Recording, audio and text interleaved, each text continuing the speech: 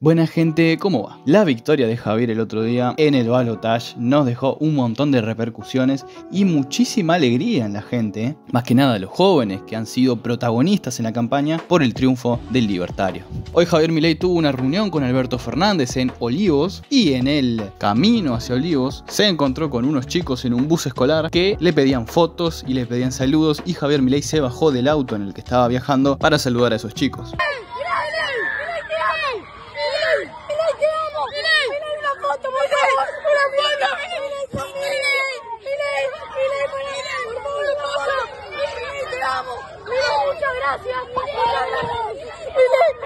Pero bueno, como les decía, hoy tuvimos el encuentro entre el muerto político de Alberto Fernández, el supuesto presidente de la nación, con Javier Milei y lanzaron un comunicado desde la Casa Rosada diciendo lo siguiente. El presidente de la Nación, doctor Alberto Fernández, recibió esta mañana al presidente electo, eh, doctor Javier Milei, quien asumirá sus funciones constitucionales al frente del Poder Ejecutivo Nacional a partir del próximo 10 de diciembre.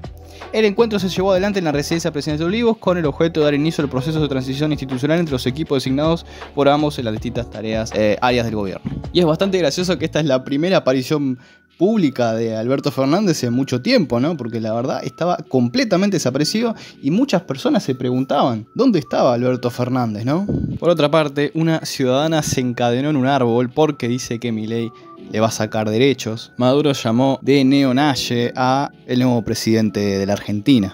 Hubo elecciones presidenciales y como ya se preveía con las estadísticas de las encuestas, ganó la extrema derecha, neonazi en Argentina. También lo tuvimos a Mauricio Macri, que tuvo una reunión con Javier Milei y que luego estuvo en el programa de TN, donde dijo que lo que hereda el gobierno de Milei es, es varias veces peor que lo que recibió su gobierno en el 2015. Les digo que lo que hereda Javier Milei es varias veces peor a lo que heredé yo en el 2015.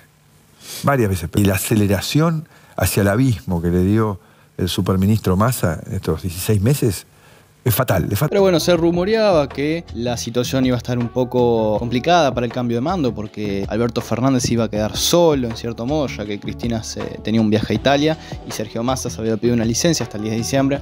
Parece ser que la señora Cristina Kirchner suspendió su viaje a Italia a último momento. Y por supuesto, luego del mensaje de Miriam Bregman, muchos movimientos sociales también salieron a dar su opinión y a expresarse en contra de Javier Milei, incluso antes de que, bueno, suma el gobierno, ¿no? Los movimientos sociales amenazaron con salir a la calle si Javier Milei les quita beneficios. Acá no se rinde nadie. Y en este sentido, Mauricio Macri también habló de esta situación y dijo que es muy probable que los jóvenes que defienden a Milei también salgan a la calle cuando empiecen estas manifestaciones. Y muchos lo acusaron de estar llamando a una trifulca social con estos comentarios, aunque la realidad es otra cuando ves el video, ¿no? Me parece que está describiendo una situación y no llamando o incitando a la gente a hacer determinadas cosas. Insisto, hoy hay un mandato popular muy profundo, Joaquín, muy profundo, y encima liderado por los jóvenes. Los jóvenes no se van a quedar en casa si estos señores empiezan a tirar toneladas de piedra. Pero bueno, algunos dirigentes sindicales como Luis Barronuevo que se habían alejado de Javier Milei luego de, luego de la, la tábula rasa, la alianza Conjuntos por el Cambio, volvieron a acercarse a Javier Milei y Luis Barronuevo dijo lo siguiente, que la victoria de Javier Milei era un masazo a la casta. Y bueno, parece ser que le va a hacer mucha falta el apoyo popular a Javier Milei en este gobierno porque le van a hacer un montón de manifestaciones y le van a parar el país.